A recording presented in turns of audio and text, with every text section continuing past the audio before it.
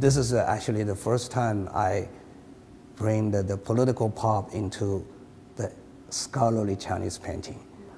During early 80s, I created a series of ink works. These works actually presents the beginning of the contemporary movement. And also these works I got really got trouble. Uh, uh, in my first solo show was closed down by the authorities in, in 86. I invented a, a series of unreadable Chinese characters. The authority thought about something unreadable may have had meaning behind. And they, they thought about it as kind of suspicious. The main concept about this series actually is about uh, the structure of the, the words. The middle one actually is a combination of two characters. The right one is about uh, the structure of the characters. And the last one actually is the kind of overlapping characters. During the Cultural Revolution, you always talk about it right or wrong.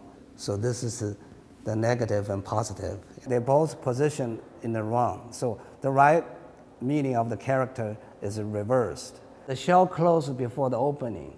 Then the student got angry. They want to bring the work into the street to protest. And then the show reopened. Our historians describe that moment like a, the center of an earthquake for the traditional Chinese painting.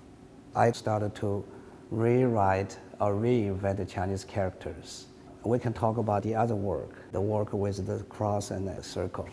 And that work actually marked as the first ink art performance. Six of my students, each one of them drew one character, which is a quiet, still. Then I used red cross and red circle to criticize these students' work. The teacher always do this kind of circle and a cross. And the other meaning is actually is from the Cultural Revolution. In the big posters, if you're supposed to be a bad person, you will be a cross. And if you're a right person, you always circle.